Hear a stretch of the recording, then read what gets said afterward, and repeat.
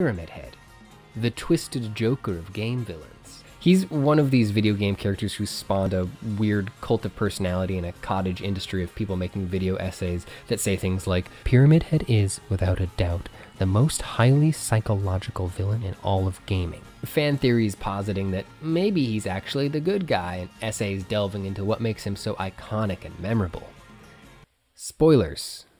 It's because he got a big pyramid on his head.